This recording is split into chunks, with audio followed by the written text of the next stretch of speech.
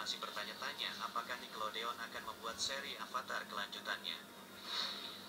Namun sayangnya, sampai detik ini, pihak Nickelodeon belum memberikan pernyataan pasti terkait proyek animasi kelanjutan dari seri Avatar The Legend of Korra. Hingga beberapa tahun terakhir, tersebar kabar bahwa fans Avatar mulai melakukan proyek independen untuk melanjutkan seri animasi yang sangat legendaris ini. Salah satu dari sekian banyak proyek tersebut berjudul Avatar The Legend of Genji.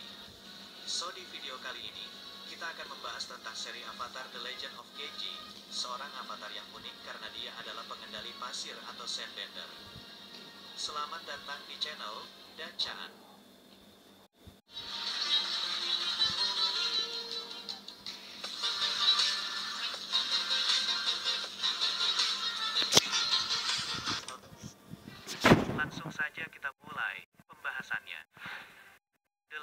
of Genji merupakan proyek fanfiction berbasis relawan untuk membuat sequel Avatar baru setelah seri Avatar The Legend of Korra.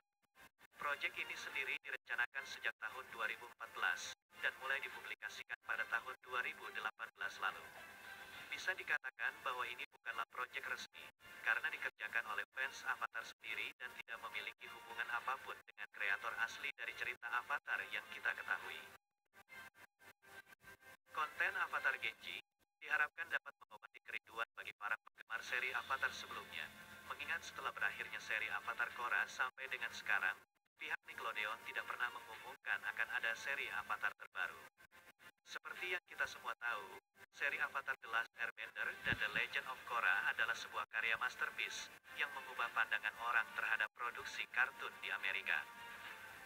Terinspirasi dari tema dan gaya animasi Asia, sang kreator yaitu Brian Conisho dan Michael Dante Di Martino bertujuan menembus batas televisi untuk membuat acara anak-anak yang memperkenalkan tema kompleks terhadap dunia nyata. Tema itu berupa kesetaraan, keragaman, dan nilai kehidupan lainnya. Melihat siklus reinkarnasi yang tidak pernah berakhir dari karakter Avatar, memungkinkan penggemar untuk membayangkan bab selanjutnya yang potensial dalam cerita ini. Meskipun serial resminya telah berakhir dan kreatornya beralih ke proyek baru, penggemar di seluruh dunia terus mengingat cerita fiksi ini dengan membuat beberapa komik, fan art, dan seni lainnya. Salah satu dari proyek fans Avatar tersebut adalah seri The Legend of Genji. Sebelumnya Mimin akan jelaskan prolog cerita dari seri ini, kalian juga bisa melihat langsung di channel YouTube resmi The Legend of Genji. Cerita dibuka, memperlihatkan Asami yang sedih saat memandangi foto dari Avatar Korra. Setelahnya Jinora mengumumkan bahwa mereka sedang berduka pada hari itu, yang ternyata itu adalah hari pemakaman dari sang Avatar. Diketahui bahwa beberapa hari sebelumnya, Avatar Korra telah tewas dalam pertempuran, karena mengorbankan dirinya untuk menahan ledakan besar yang akan menghancurkan seluruh tembok Basing Sei. Terlihat semua penduduk dan tim Avatar sangat bersedih, karena harus melepas kepergian dari sang Avatar. Kemudian Jinora mengatakan bahwa meskipun Korra telah meninggal, tapi jiwanya akan tetap hidup pada reinkarnasi Avatar berikutnya.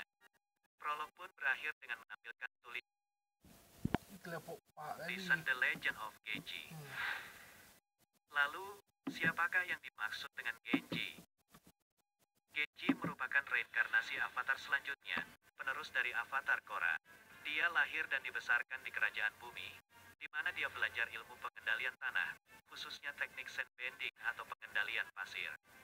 Lahir dan dibesarkan di pemukiman sandbender yang kecil, keluarga Genji pindah ke kota Jinsa yang ramai, setelah relokasi paksa suku sandbender empat tahun yang lalu. Genji hidup dengan seorang ibu dan adik perempuan yang sangat dicintainya. Masa kecil Genji sangatlah susah, sehingga dia harus menukar kerajinan pasir buatannya dengan pel dan ember, dan rela melakukan pekerjaan serabutan di sekitar kota untuk menghidupi ibu dan adik perempuannya. Saat berusia 17 tahun, Genji sudah menjadi seorang sandbender yang hebat. Sampai sejauh ini, cerita The Legend of Genji sudah memperkenalkan lima karakter lain. Yang besar kemungkinan, karakter ini nantinya akan menjadi tim dari Avatar Genji. Salah satu karakter tersebut adalah Kalsan. Kalsan merupakan seorang pemuda laki-laki berusia 17 tahun yang dilahirkan dari dua master pengembara udara yang terkenal. Dia digambarkan sebagai pemuda yang jenius di antara generasi penerus pengembara udara yang lain. Carl Sang tumbuh dengan mempraktekkan gaya hidup airbender tradisional, berkeliling dunia, dan mendedikasikan waktunya untuk mengembangkan pengendalian udara. Setelah mendapatkan tato masternya, Carl Sang sekarang menghabiskan sebagian besar waktunya untuk melatih para airbender muda yang lain dan bekerja bersama sang ibu untuk melestarikan sejarah pengembara udara. Karakter berikutnya bernama Nami. Nami adalah satu-satunya putri dari Tongkin yang merupakan seorang pekerja anjungan minyak di suku air utara. Ketika dia masih kecil, seorang tabib meramalkan Nami akan menjadi pengendali air yang hebat. Orang tuanya yang senang kemudian mendaftarkannya di Akademi Pengendali Air. Bertahun-tahun kemudian, Nami justru tidak pernah bisa menunjukkan kemampuan bendingnya. Sehingga dia dianggap tidak berbakat dan sering dibully oleh teman-temannya. Tapi Nami justru memiliki teman-teman berupa roh kecil aneh yang sering mengunjungi rumahnya. Karakter berikutnya bernama Aiko. Aiko adalah putri angkat seorang diplomat negara api yang sukses.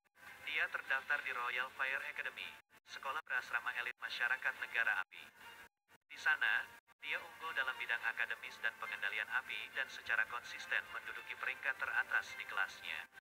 Namun, terlalu sering berjuang untuk menjadi yang terbaik, justru membuat Aiko memiliki kecenderungan perfeksionis dan memiliki kecemasan yang tinggi. Karakter selanjutnya bernama Luan. Lahir di kota selatan Gaoling, Luan dinobatkan sebagai penerus Korra sebagai avatar baru oleh Teratai Putih dan Daily di usia muda. Keluarganya pindah ke lingkaran elit Basing Sei dan membuat Luan menerima pendidikan kelas tinggi bersama dengan master pengendalian tanah kelas dunia. Menjadi favorit Presiden Bao Jun dan kesayangan Federasi Bumi, Luan telah mengembangkan karisma, kecerdasan, dan kecakapan fisik yang diperlukan untuk menjadi avatar yang hebat. Meski menguasai pengendalian tanah dan pengendalian logam, Luan belum berhasil menguasai teknik lava bending. Seiring bertambahnya usia, dia mulai mempertanyakan keahliannya dan apakah dia benar-benar siap untuk mengambil peran sebagai avatar atau tidak. Dan karakter yang terakhir bernama Maya. Di antara Ocean Pop, dia secara resmi disebut Maya dari Tanah Liat dan Klan Perahu. Salah satu dari enam bersaudara, Maya adalah putri seorang nelayan dan seorang akademisi. Tumbuh di pesisir timur Federasi Bumi, di tepian darat dan laut, Maya menghabiskan masa kecilnya dengan berenang dan bermain dengan ombak. Ketika berusia 12 tahun, Maya dibawa oleh agen Daily untuk dilatih menjadi prajurit elit. Setelah berusia 17 tahun, dia lulus dari Akademi Pelatihan Daily, dan tugas pertamanya adalah menjadi pengawal keamanan pribadi untuk Avatar Luan. Itulah semua karakter yang sudah diperlihatkan di seri Avatar The Legend of Genji. Dari kesan pertama yang Mimin tangkap, kisah Avatar The Legend of Genji hampir memiliki kesamaan dengan cerita Avatar Kyoshi. Tapi dalam forum tanya jawab, sang kreator sempat mengatakan bahwa mereka memiliki plot twist yang berbeda, sehingga ceritanya tidak akan sama dengan cerita Rise of Kyoshi. Okey, itu